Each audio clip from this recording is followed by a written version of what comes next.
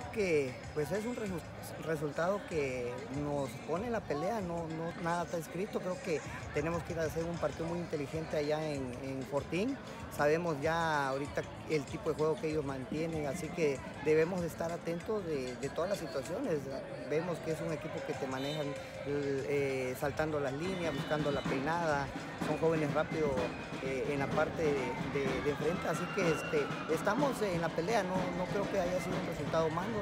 Eh, el simple hecho de ir con un empate y tener la posibilidad de que con un gol también podemos tener la calificación, entonces nos, deja muy tranquilo, así que tenemos que trabajar el día de mañana con la recuperación y ver ya los puntos claves que ellos tienen como fortaleza.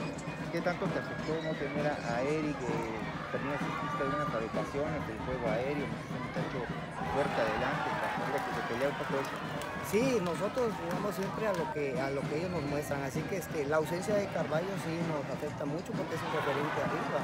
Sabemos que en cualquier ratito con la habilidad y la fuerza y la potencia que tiene te puede definir un partido, pero lo supimos suplir bien con los jóvenes que entraron. Al final tuve que echar mano de, un joven de fortaleza como lo es Emanuel, que la verdad incomodó y fue al frente y por ahí tuvimos este, esa duda, no sé, la verdad tenemos que ver la repetición, pero yo creo que por ahí nos pudimos ir con la ventaja, pero contento con el esfuerzo de mis jóvenes, la verdad.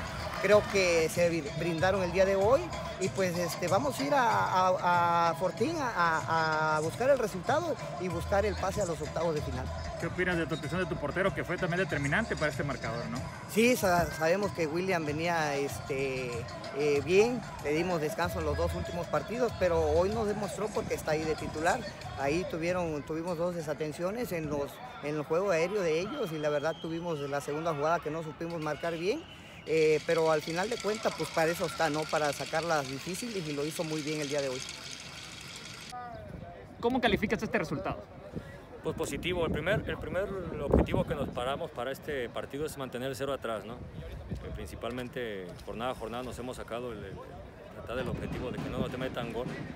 Entonces, como eso, el esfuerzo de los chavos fue, fue muy bueno y cumplimos el primer objetivo. Las, las llegadas que tuvimos, desgraciadamente, no las pudimos concretar.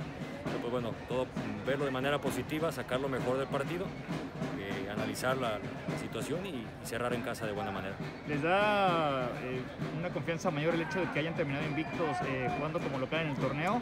O, bueno, la cuestión de liguilla es otra cuestión muy diferente ya? Pues se les decía a los chavos, esto es punto de aparte, lo que se hizo en la, liga, en el torneo de, por puntos, pues es, se queda en estadística ya, ¿no?